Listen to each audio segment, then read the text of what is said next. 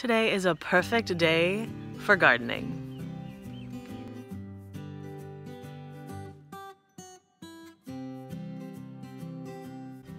Hi, I'm Amy. Welcome back to Hummingbird Hill. And today is the absolute perfect day for gardening, at least in my opinion. It is cloudy, as you can see, slightly overcast. It's around 50 degrees, and it is just refreshing to be outside. There is a cat who is attempting to, well, do what cats do and rub all over me and the camera, which is slightly problematic but that's okay. She's fun. Silly purr.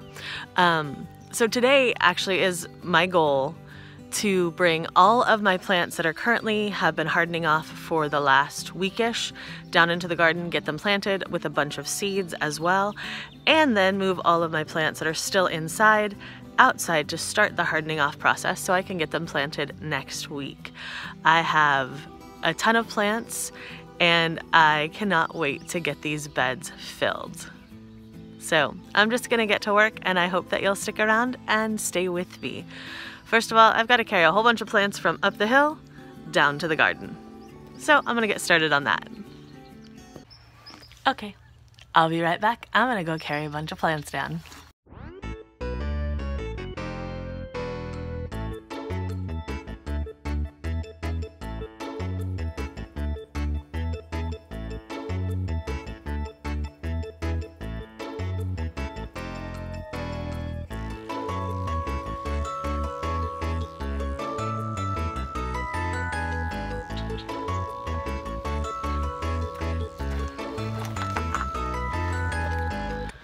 Well, that didn't take as long as I thought because I just realized most of the plants I've been hardening off have been my tomatoes. I have multiple tomato plants. Obviously I can't plant them all, I don't have room, but I have backups, which is good.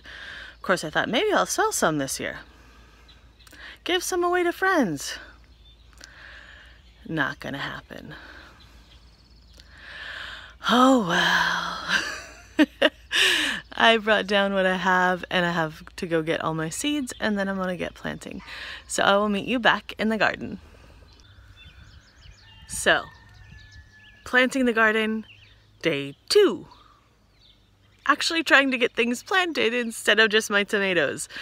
Uh, yesterday we had company come over at around 11, the best sort of company.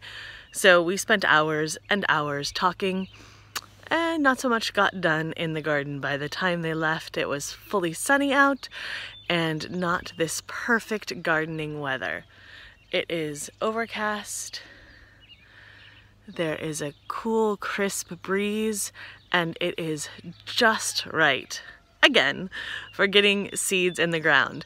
The first thing I need to do today is get my hay bales uncovered so I can really look at where things are. Last year, bed by bed, I put my seeds in and my plants in and I wrote down everything meticulously where things were so that I wouldn't necessarily plant in the same space. It's not as important to rotate um, when you amend the soil well, but it still helps. This year, with stuff in every bed and not a clean slate to start from, I'm having a little more trouble figuring out where to put things.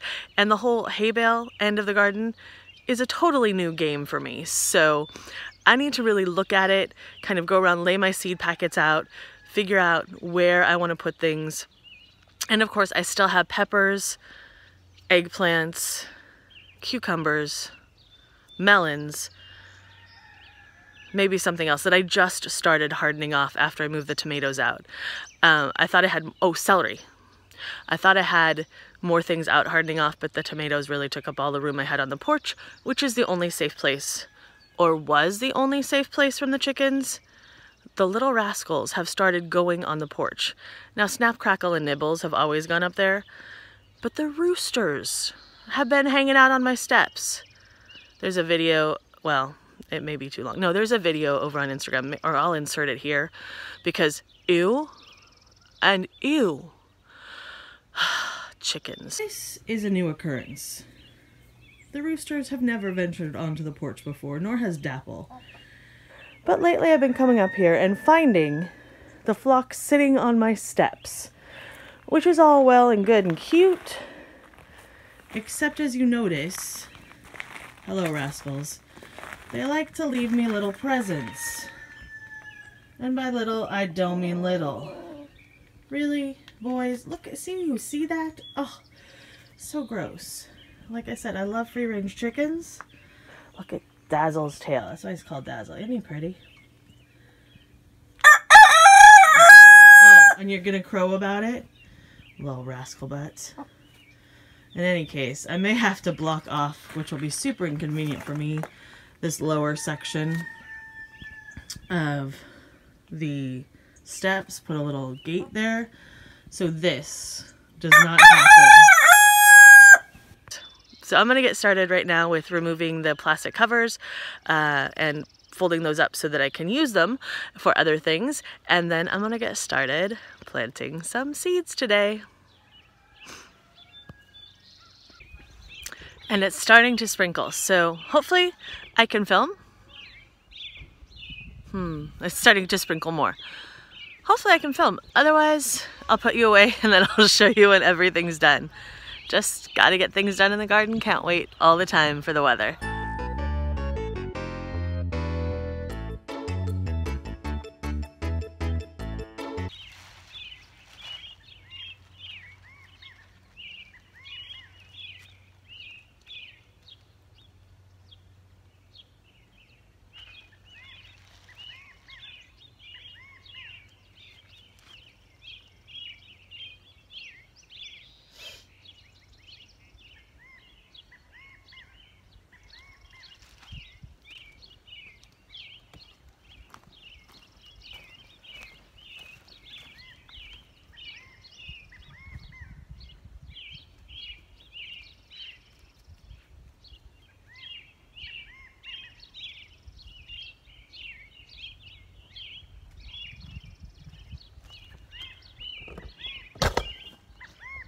I don't know if you can hear it or see it, but over on the fence right there, there's a pheasant, I think.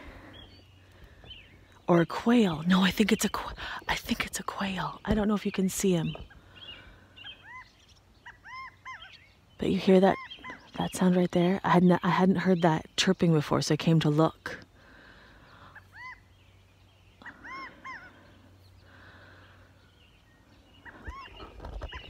Whale.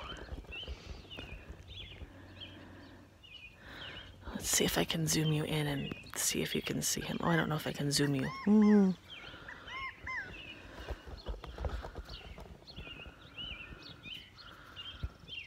My fingers are too wet, it won't let me zoom.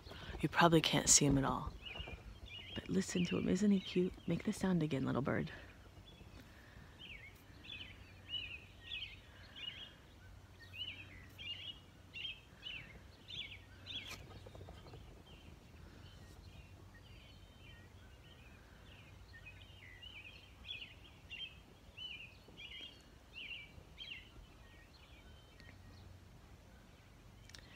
He's being quiet because he realized I was watching him.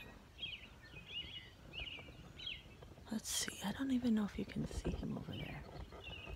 Like right there. And of course I can't see where I'm pointing because the screen is facing away from me. Okay, hold on, I could just pause it and see. Hold. There, I turned you around. Let's see, he's right there. Oh, no, that's super fuzzy. He's right there, little guy. I don't know if you can see him, but it's a cute little quail. All right, I need to get back to like, gardening, not watching the cute little quail. I've seen quail around a few places, um, but you don't spot them very often. And this is the first time I've seen one actually on our property, especially this close to the garden. Um, and he's just got the cutest little sound. That's what caught my ear. I was like, I haven't heard that bird chirp by the garden before. It was a quail. Okay, I'm gonna get back to work. Let's go back over.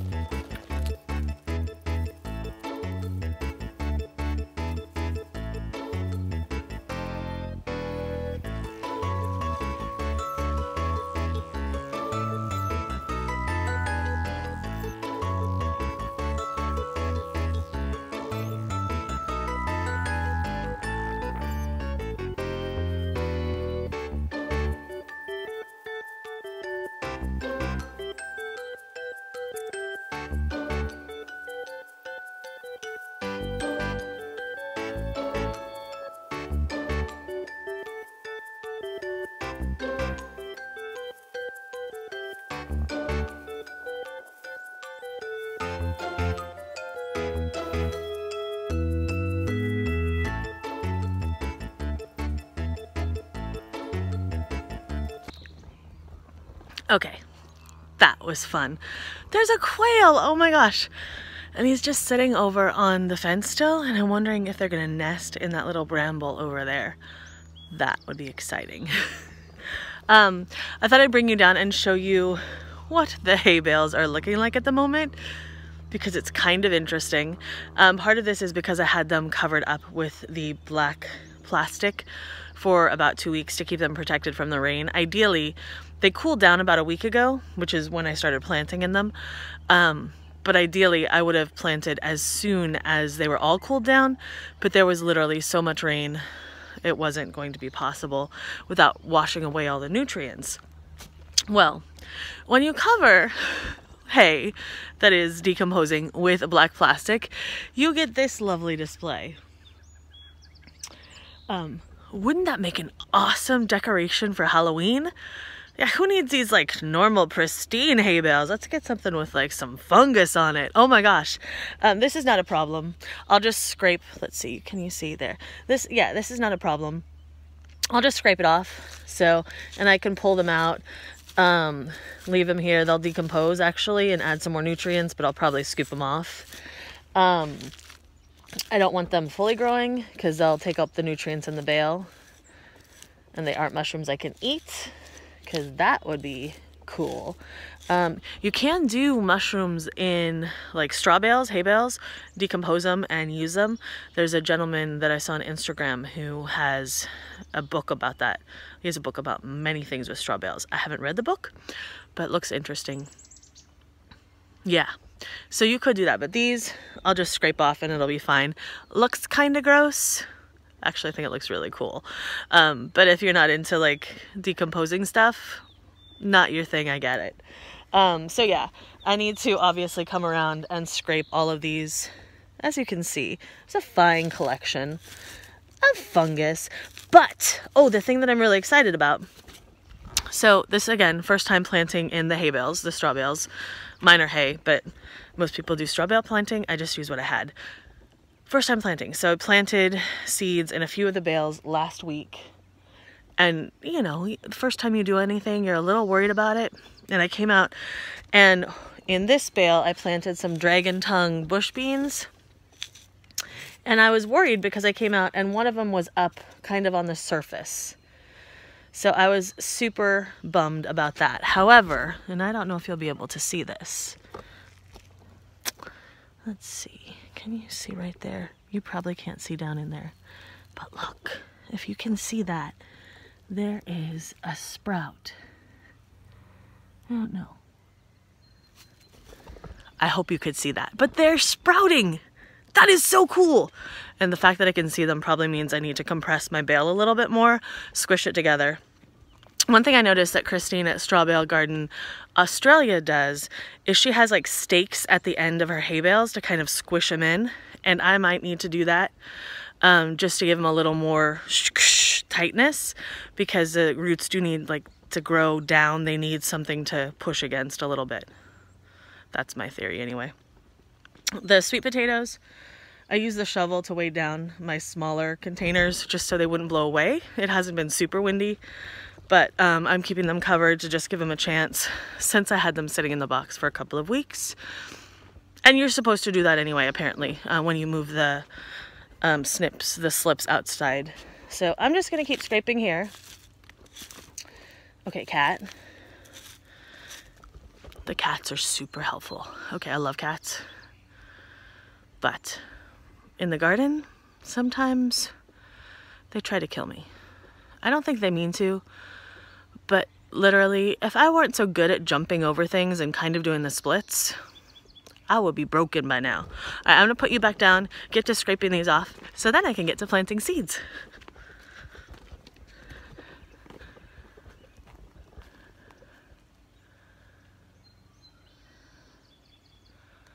The quail's not there anymore.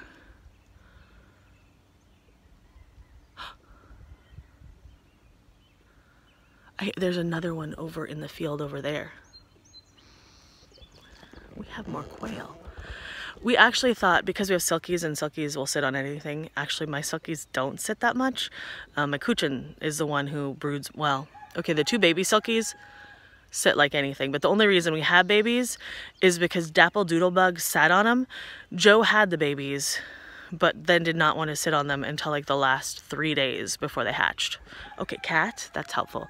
In any case, one of the things we always thought about doing was having one of our silkies get some quail eggs and have the silky hatch them and then release them in the area just because quail are so cool. Yeah.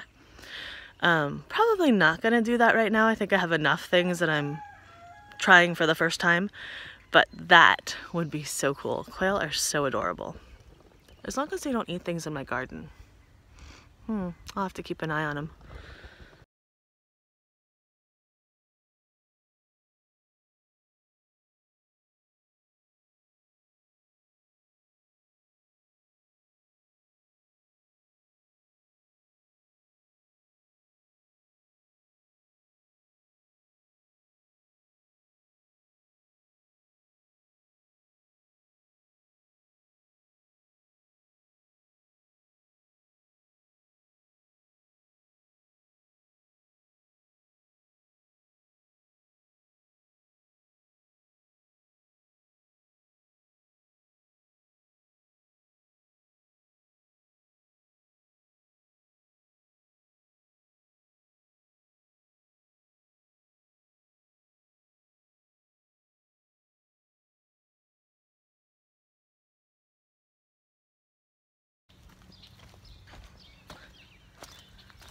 Sorry for the butt view. But, so last weekend I planted some seeds in the bales by the trellises and the dragon tongue bush beans, which I just showed you, are sprouting. One of the problems I'm gonna have now is there are some grasses growing up, but there are also things I planted growing up. So I have to be careful not to pick the things that I planted out or scrape them. So, mm, that'll be a challenge, but I guess I'll just let them go grow and then I can tell when they're weeds and I'll pull them when they don't start making flowers or fruit. Yeah, that's the ticket. I'll be right back, I'm almost done.